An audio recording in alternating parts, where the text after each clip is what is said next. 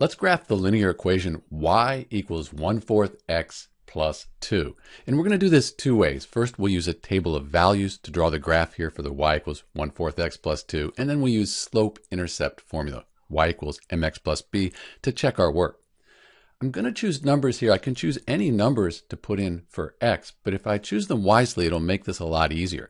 So if I chose 4 for x, that would mean 1 fourth times 4, that would equal 1. 1 plus 2 equals 3. So that's a little bit easier to work with. That would give us the point 4 comma 3, and that fits on our graph paper. Next, I'm going to put 0 in for x. So if I have 0x, 1 fourth times 0, that's just 0. 0 plus 2, that's 2.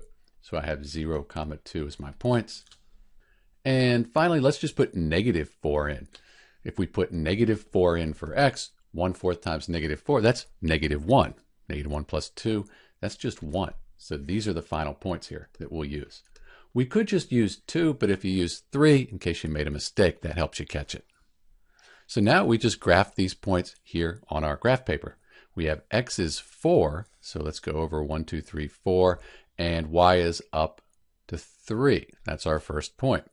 Then we have 0 for x, y is 2, and finally negative 4 for x, 1, 2, 3, 4, and then 1 for y. And you can see they're in a line there. We can even put a line through that. And we'll put arrows here to show that it goes to infinity. And this is the graph for y equals 1 fourth x plus 2. Again, we could choose any values, but by choosing values that give us these whole numbers, that does make it easier to graph.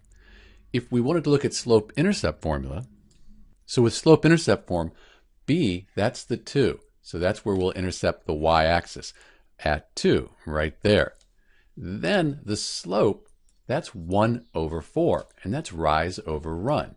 So we go to our y-intercept, we rise 1, and we go over 1, 2, 3, 4.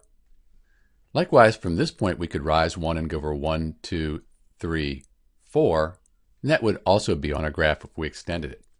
So that's just another way to check our work. This is Dr. B with the graph for y equals 1 fourth x plus 2. Thanks for watching.